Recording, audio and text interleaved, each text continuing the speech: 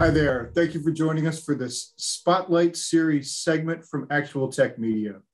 I'm Scott Bekker, a moderator and analyst with ActualTech Media, and today I am joined by Stacy Hayes, who is co-founder and EVP of the Americas for Assured Data Protection. Stacy, thanks for being here today.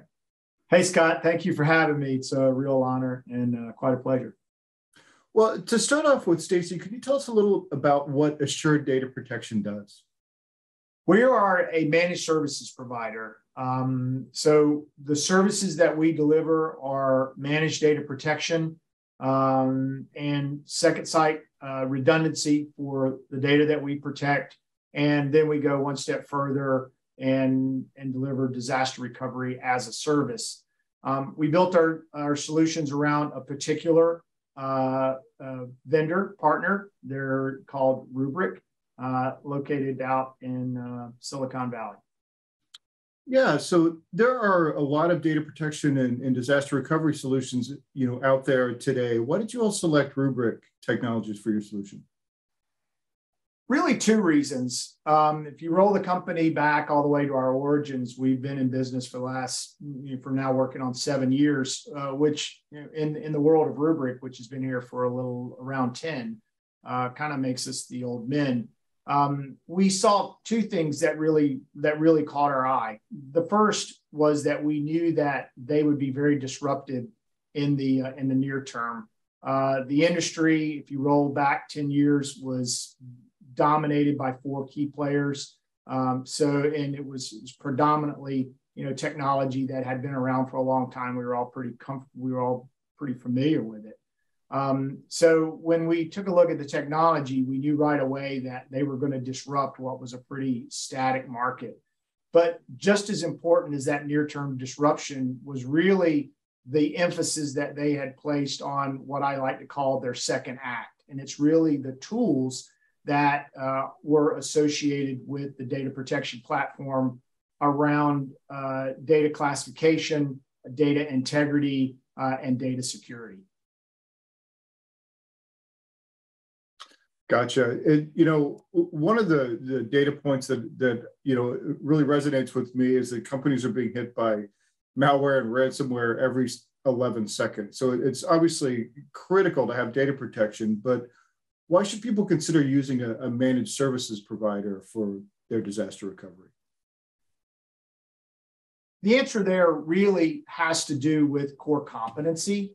Um, I call it the critical role. Uh, if you think about if you think about an institution, uh, let's take a law firm. Uh, a law firm's not a better law firm because they're great at data protection. However, if the law firm fails to protect its data and loses it, then it's out of the business of being a law firm.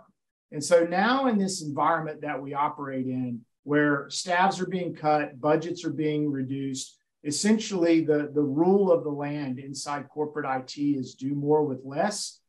Corporate IT is, is forced to essentially stack rank its, uh, its, its functions and then do a separation exercise around are these things supportive of the mission or are they not?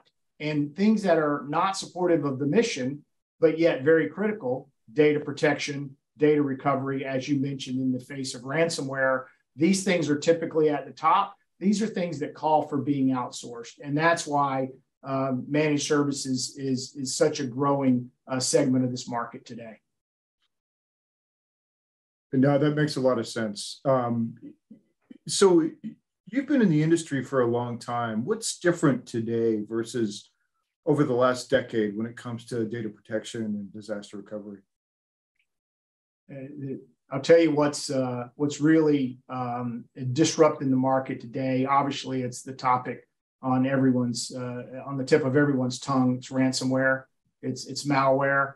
Um, this is um, th- you know this is a, a, an absolute scourge on the market, uh, and it is really um, again it itself disrupting um, the uh, the status of those players. Uh, the the phrase immutable, uh, you know, oftentimes misused in the marketplace uh, is is a true table stakes um, uh, capability uh, now as it relates to data protection. but beyond that, uh, the presence of the, the data, data integrity, data sovereignty, and data protection laws. Uh, you know, we see we see a lot of these. We see laws in Europe that are now being adopted in in North America. we see individual states um, in, in, adopting different types of laws, and that's the great thing about this country, right? it's really 50 different places.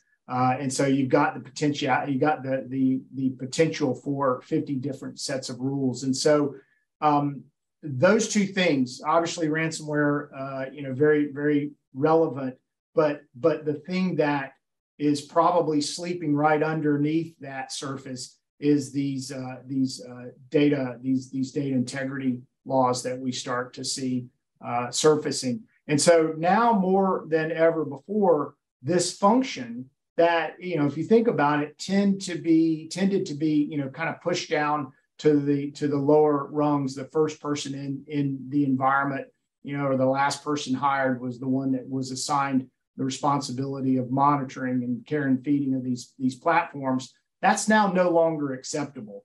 Um, there's high turnover there uh, and there's a there's a skill gap uh, that that exists that because everything's moving so fast. And so the again, this calls for uh, back to that previous question. You know, why why outsource this? Why why turn to a managed services provider? That's that's a big reason there.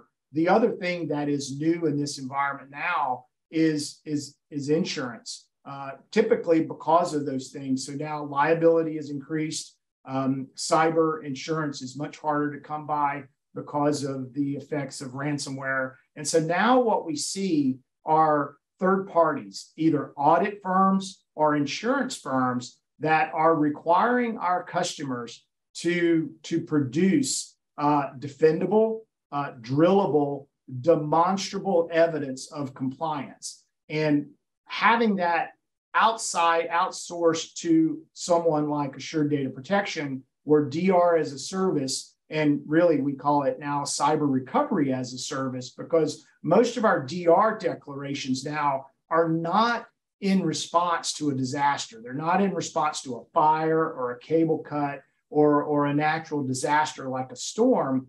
They're in response to a ransomware attack. And so we are we're in a constant state of, of recovery now. We have been for the last 24 months, uh, and I don't see that ending. So all of those all of those things tend to you know tend to pile up in an IT environment.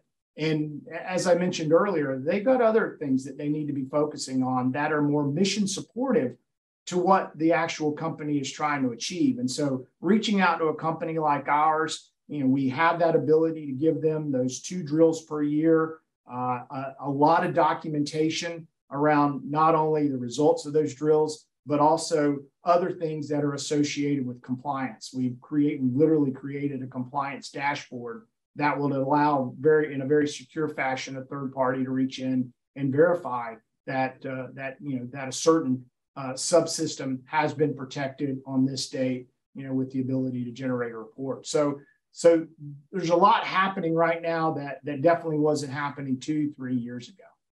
Yeah, I think you really hit on it. You know, just that that you know the three things: ransomware, the data integrity laws, and then you know just the the proliferation of you know insurance and that requirement.